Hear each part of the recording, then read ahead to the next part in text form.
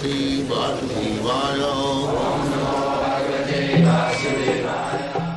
वन्देऽहम् Shri Guru श्रीयुता पदकमलम् Krishna comes to become the son of Devaki to glorify Devaki. Uh, Krishna becomes the son of Jasoda to glorify his devotee, Jasoda. Similarly, Krishna appeared in the dynasty of Maharaj Jadu just to glorify. He was a great devotee of Krishna and he is born in the family of Maharaj Jadu. The whole family celebrated still Jadava. Krishna's name is Jadava uh, because he took his birth in the Jadu family. Uh, so how is it that that Krishna took? Now they glorify the family.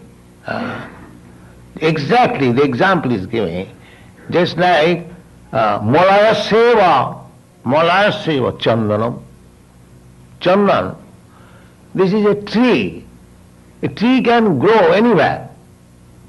But the um, uh, sandalwood tree, because um, it is very prominent in the Malaysia country, uh, formerly they were growing this chandan tree, as I told you, because there is good demand uh, in India especially, of sandalwood. Uh, so nowadays they are growing rubber tree uh, because there is good demand for rubber. Uh, so, so even after business, so the Kunti is giving this very nice example. The chandan tree, it is a particular type of tree. It can grow anywhere. Not necessarily that it has to grow in Malaysia uh, or Malay Hill. Uh, there is no such rules and regulation. It can grow anywhere. But because this sandalwood is grown in large quantity in such part of the world, the sandalwood is known as Malaya Chandan. Malaya Chandan. Uh, just like in your western countries, the, the scented water, eau de Cologne. Uh, eau de Cologne. Cologne is a country in France, and there it is manufactured. There it is called So similarly, de can be manufactured anywhere. But originally, because it was manufactured in that Cologne city, it is known as de Similarly, sandalwood also can grow anywhere.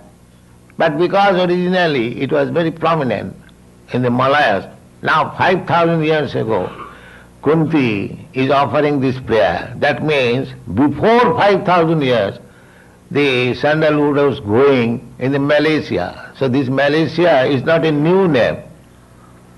Uh, it was known uh, thousands and thousands of years ago. Uh, and uh, all these places, they were Vedic culture. So similarly, he he is giving the example that uh, Krishna has no obligation that he has to take his birth in a particular family or particular country. He has no such obligation. Uh, but to glorify a certain family or certain person because he is devotee, uh, therefore, he has taken birth. Uh, the reason is he is appearing, therefore it is called Dibbam, transcendental. Uh, he is not obliged, but we are obliged. That is the distinction between our taking birth and Krishna. We are obliged. If by our karma, by our activities, uh, we are uh, fit for taking birth in a good family, then I will get uh, my birth in good family or in the human society or demigod society. But if my activities are lower grade like animals, then I will have to take birth in the animal family. that is force. Karmana daivanetrena jantar dehopapatte. We develop a certain type of body according to our karma. Uh, in this life, this human form of life uh, is meant for athata brahma jigyasa, for understanding the supreme, the absolute truth.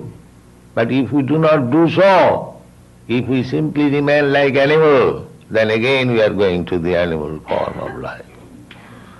Uh, misuse of the opportunity uh, done well. Therefore, this Krishna consciousness movement is trying to save people from going down to animal life. Thank you very much.